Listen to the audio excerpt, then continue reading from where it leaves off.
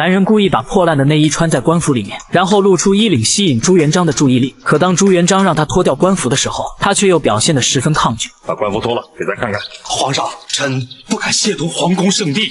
脱下官服。虽然朱元璋上了钩，可他在脱衣服的时候依然细节拉满，想脱却又不敢脱，直接把老朱吊成了翘嘴。结果被朱元璋一把扒开，露出了那件向灾民借来的破内衣。杨宪呐，你不光是个干吏，还是个连吏啊！不仅如此，杨宪为了彻底拿下朱元璋，还专门从扬州带来了两件法宝。第一件法宝被小心的放在木盒里，虽然只是两把稻穗，可朱元璋见了却无比激动。咱从来没见过这么长的稻穗啊！这两只稻穗是从臣的责任田里长出来的，每穗长及半尺，有谷粒两百余粒，它们是千年罕见的祥瑞。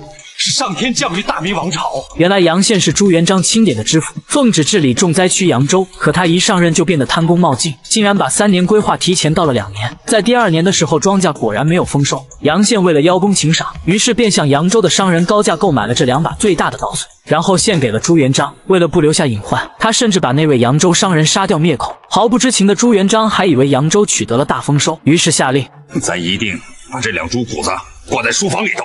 天天要瞅他一瞅，你觉得朱元璋得知实情后会怎么处罚杨宪呢？杨宪带来的另一件法宝是一袋稻米，杨宪为了得到它，更是丧尽天良。扬州在年初发放稻种时，有个官吏私吞了二百担，虽然稻种被追回，可杨宪为了震慑其他官员，竟然把那人的皮肤活生生扒了下来，然后用稻草塞进人皮做成标本，直接悬挂在了扬州府衙门口。不仅如此，杨宪还强制农民没天没夜的劳作，如果有人胆敢反抗，就把他们关进私人大牢。杨宪为了邀功请赏，可以说是丧心病狂。然而朱元璋却一无所知，还把他封为中书省平章政事，位居三品。可天下没有不透风的墙，杨宪的死对头胡惟庸很快掌握了证据，一路跑到扬州，把大牢的平民救了出来。杨宪的结局究竟如何呢？